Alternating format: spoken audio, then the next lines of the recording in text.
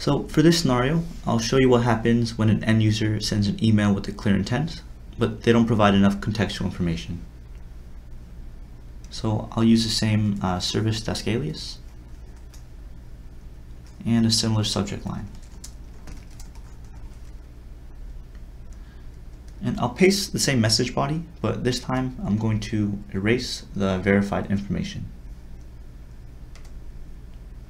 Great. So in the email I just sent, the intent is very clear, which is password reset. However, since I didn't provide enough information to the security groups, I'll get a follow-up email from the AI and they'll give me a link to a chat. So then that way the service desk can verify my identity. In the meantime, I'm also going to get an email from Jira that provides updates on the status of my tickets, which will come shortly after.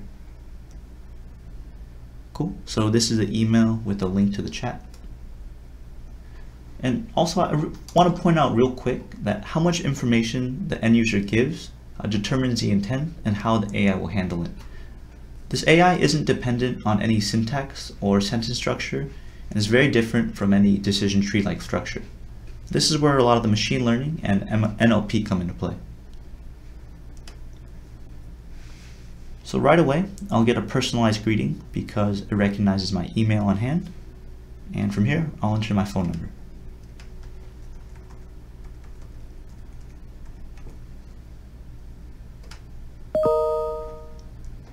Perfect. So this fulfills the second security group. And now I'll get a link to reset my password. And in the meantime, I also got an email with an update on my request, letting me know it is in progress. So if I go ahead and view it, you can see the message body and just where it's at right now. So let's reset our password. And I'll say, um, welcome 10.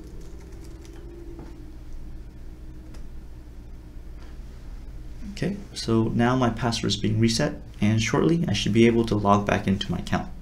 So let's try it out. from here. 10.